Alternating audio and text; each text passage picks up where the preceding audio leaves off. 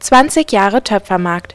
Auch an diesem Wochenende lud die Thüringer Töpferinnung wieder nach Ilmenau ein. Trotz des schlechten Wetters waren einige Besucher vor Ort.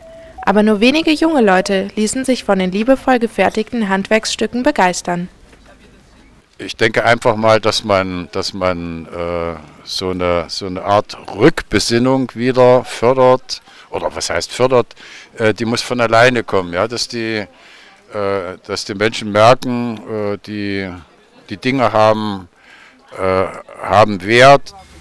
Der Töpfermeister ist einer von mehr als 40 Handwerkern und Künstlern aus ganz Deutschland, die an diesem Wochenende ihre Arbeiten in Ilmenau präsentieren.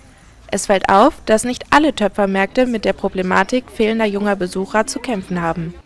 Ähm, generell auf Töpfermärkten würde ich sagen, ja.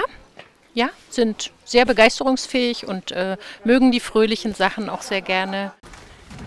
Es bleibt also zu hoffen, dass sich auch die Stände des Ilmenauer Töpfermarkts wieder mit jungen Besuchern füllen und dass deren Leidenschaft für das Töpferhandwerk noch nicht erloschen ist. Na, also das ist, äh, ich glaube nicht, dass das äh, zu Ende ist. Also die jungen Leute werden sich dafür immer weiter interessieren.